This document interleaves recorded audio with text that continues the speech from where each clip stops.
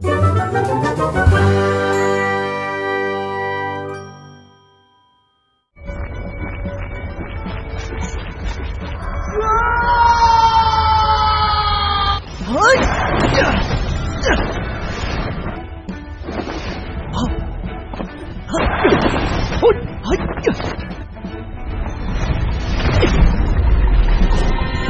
Halo Barudak Salamupi, bagaimana kabar kalian? Semoga tetap sehat dan tentunya selalu bersyukur dan bahagia. Kali ini Memang Dik akan membahas lagi alur cerita film Wonderland live action. Oke, tanpa berlama-lama lagi, langsung saja kita masuk ke alur ceritanya. Di awal film kita akan dibawa ke sebuah sekte Tian Yuan, yang mana salah satu murid di sana yang bernama Xing Yun berbicara kepada ketua sekte. Ia diberitahu bahwa gurunya ini akan segera mati, atau akan diangkat menuju keabadian, dan Xing Yun pun diminta untuk menjadi ketua sekte selanjutnya.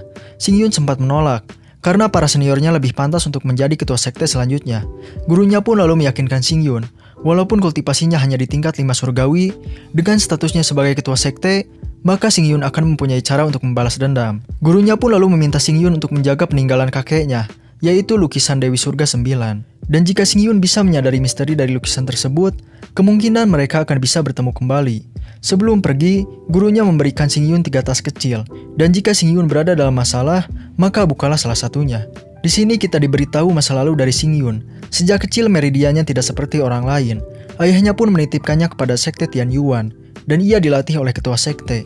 Ketika peperangan besar terjadi, banyak anggota sekte yang dihabisi, dan hanya ialah yang berhasil selamat saat itu.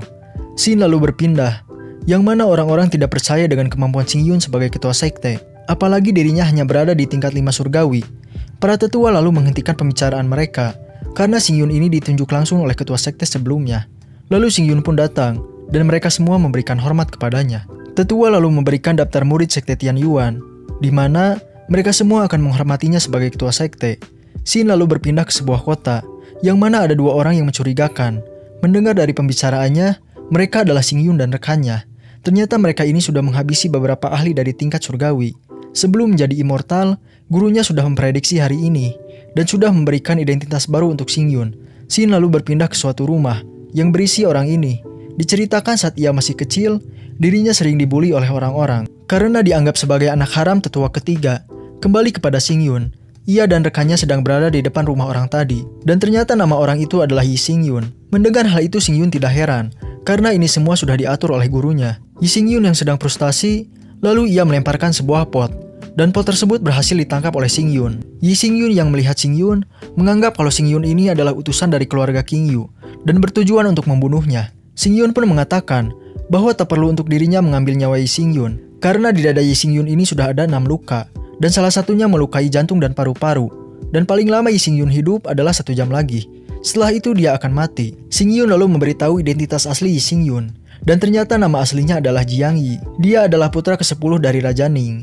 Jiang Yi sangat senang karena dia adalah seorang pangeran. Jiang Yi yang sakit parah lalu meminta Xing Yun untuk mengantarkannya ke kerajaan. Karena di sana Jiang Yi bisa diobati oleh dokter kerajaan. Namun Xing Yun mengatakan bahwa dokter itu tidak akan bisa menyembuhkan Jiang Yi. Jiang Yi yang ingin pulang memohon kepada Xing Yun. Ia berjanji akan memberikan setengah dari kekayaannya kepada Xing Yun. Xing Yun lalu mengatakan bahwa Jiang Yi sudah sekarat. Sebelum mereka sampai ke pintu gerbang keluarga King Yu, Jiang Yi akan mati terlebih dahulu. Xing Yun yang mendengar Jiang Yi masih ingin hidup, ia lalu menawarkan sebuah kesepakatan. Namun sebelum itu Xing Yun membuka identitasnya. Saat melihat Xing Yun, Jiang Yi sangat kaget karena wajah mereka ternyata mirip. Xing Yun lalu membuat kesepakatan untuk mereka saling bertukar identitas. Jiang Yi yang mendengar hal itu mengerti bahwa Xing Yun ini ingin mendapatkan semua kekayaannya dan bermaksud untuk membunuhnya. Jiang Yi lalu menyerang Xing Yun, namun itu tidak ada gunanya.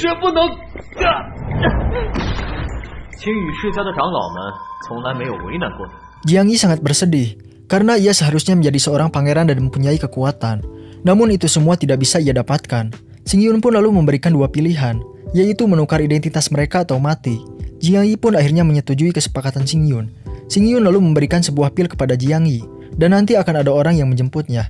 Jiang Yi curiga jika pil itu ada racunnya, Xing Yun pun lalu mengatakan bahwa ia tidak perlu melakukan apa-apa untuk membunuh Jiang Yi, karena dengan menunggu satu jam saja, ia akan mati dengan sendirinya. Jiang Yi pun lalu menerima obat pil dari Xing Yun, dan setelah dimakan ia pun langsung tak sadarkan diri.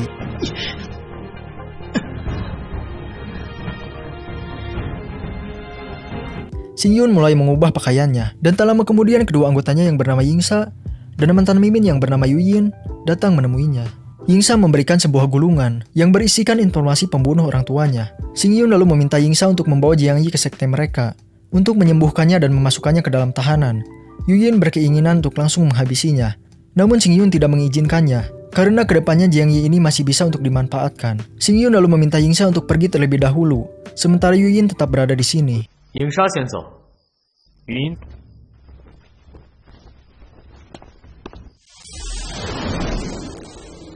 Sing Yun lalu mengatakan, apakah Yuyin puas dengan keputusannya?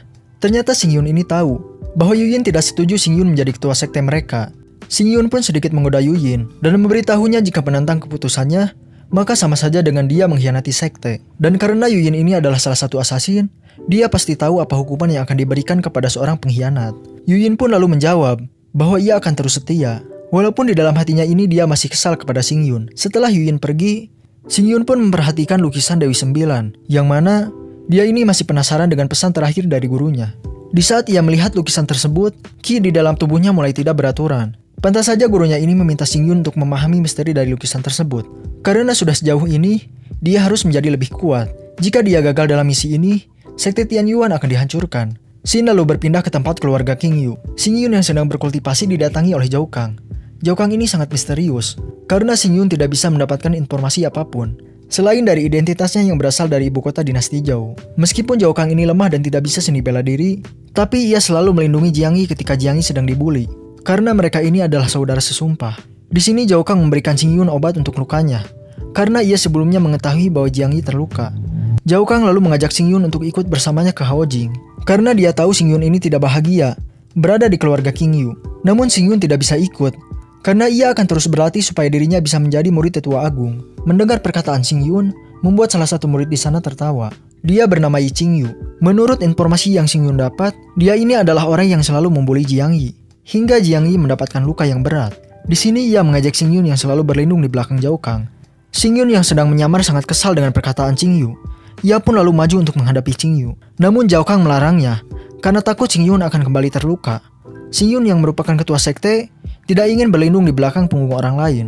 Zhao Kang yang melihat sikap Xing Yun merasa kalau Xing Yun ini berbeda dari yang dulu ia kenal. Xing Yu lalu meledek Xing Yun karena dia selalu dihajar habis-habisan. Di tengah kebacotan Xing Yu, di sini ada seorang gadis yang menyaksikan pertarungan mereka.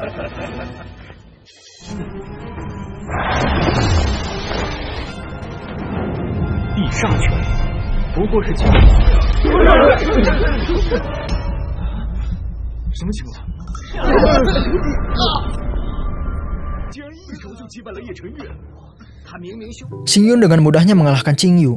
Orang-orang yang melihatnya terkejut dengan kekuatan Xing Yun.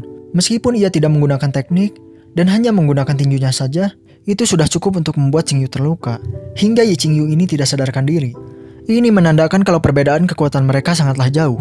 Xing Yun pun lalu memberitahu mereka semua bahwa dia ini tidak seperti dulu lagi. Dan mulai sekarang dia akan menjadi Xing Yun yang baru. Kedua teman Xing Yu pun lalu segera membuat Xing Yu pergi. Zhao Kang yang penasaran dengan kemampuan Xing Yun pun lalu bertanya, apakah Xing Yun ini sudah berkultivasi sampai menembus tingkat dua surgawi? Xing Yun pun lalu mengatakan, jika dirinya mendapatkan latihan dari seseorang yang memiliki kekuatan tinggi. Zhao Kang yang mendengarnya ikut senang dengan perkembangan Xing Yun. Dan mulai sekarang mungkin itu semua akan mengubah posisi Xing Yun di keluarga King Yu. Dan ke depannya tidak akan ada lagi yang akan membulinya. Apalagi dengan pertarungannya tadi, akan mendekatkannya menjadi murid tetua agung.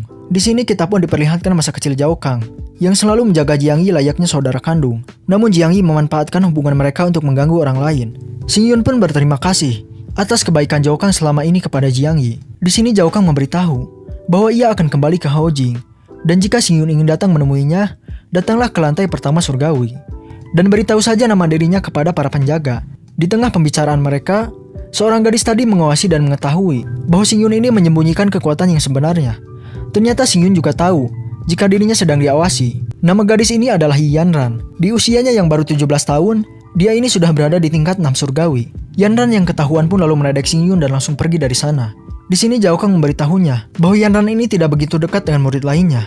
Dan ia menebak bahwa Xing Yun ini sepertinya berpacaran dengan Yanran. Di sisi lain, Yi Qing Yu ini sangat kesal kepada Xing Yun dan dia ini memiliki niat jahat kepada Xing Yun. Xin lalu berpindah kepada seorang gadis cantik yang bernama Yi Su Yun. Tak lama kemudian adiknya yang bernama Yi Xing Zhao datang menemuinya. Ia memberitahu kakaknya jika dirinya ini akan menjadi murid tetua agung.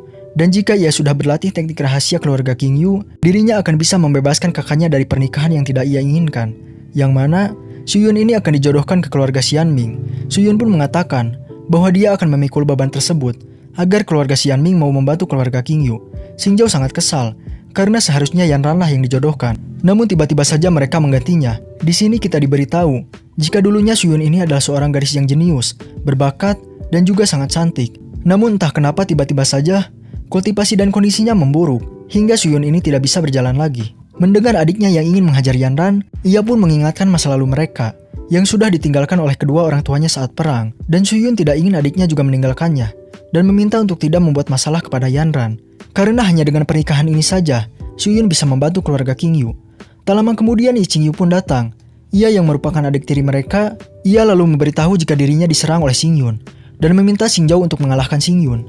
Awalnya Xing Zhao ini menolak permintaan Yi Yu, namun Yi Yu ini terus mengatakan omong kosong kepada mereka dan membuat Xing Zhao ini tertarik kepada Xing Yun. Kakaknya sempat menghentikan Xing Zhao, namun Xing Zhao mengatakan untuk kakaknya tidak khawatir kepadanya. Xing Zhao yang tidak ingin posisinya menjadi murid tetua agung direbut, ia terus mencari keberadaan Xing Yun. Xin lalu berpindah ke tempat keluarga King Yu, yang mana di sana salah satu tetua yang bernama Yi Tianling memberitahu bahwa keluarga Xianming kembali menemui mereka untuk urusan pernikahan. Tianling terus meyakinkan tetua agung jika akan ada banyak keuntungan yang didapatkan dari pernikahan tersebut. Jika mereka tidak segera membuat kesepakatan, takutnya mereka akan dihapus dari Dewan Pasar Kota. Tetua agung sangat sedih terhadap nasib yang ditanggung oleh Suyun namun Tianling ini tidak peduli terhadap perasaan Suyun. Mendengar hal itu, salah satu tetua yang bernama Yi Tiangming kesal dan mengatakan bahwa anak ketiga keluarga Xianming tidak cocok dengan Suyun. Apalagi dia itu seorang mata keranjang. Lagi-lagi di sini Tianling tidak peduli kepadanya. Di sini kita diberitahu jika Tianling ini adalah ayah dari Yanran. Tetua Agung pun lalu menghentikan perdebatan mereka. Dan untuk pernikahan nanti akan dipertimbangkan lagi. Apalagi adiknya Suyun ini memiliki sebuah bakat. Salah satu tetua lalu memberitahu tentang Xingyun yang baru-baru ini membuat keributan dengan mengalahkan Yi Qingyu. Xingyun mengalahkannya dengan sekali serangan. Walaupun Xingyun ini berada di tingkat satu surgawi, mendengar hal tersebut Tetua Agung sangat terkejut. Ia pun lalu meminta kepada Tetua untuk mengawasi Xingyun.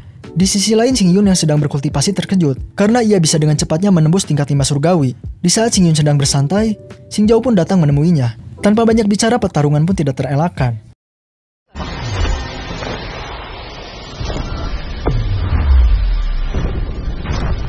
可能？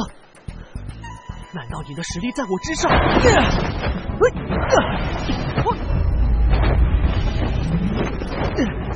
？Xing Yun lalu mengatakan, jika Xing Zhao ini tidak berguna seperti kakaknya.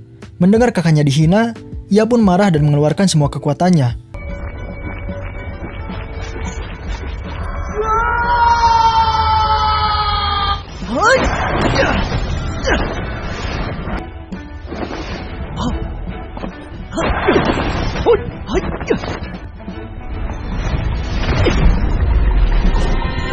Walaupun sempat melukai Xing Yun, namun Xing Zhao dapat dikalahkan dengan sekali serangan.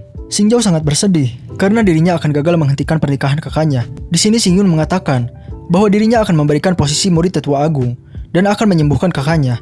Xing Zhao lalu mengatakan jika penyakit kakaknya ini tidak bisa disembuhkan, bahkan dengan bantuan dokter ahli pun masih tidak bisa disembuhkan.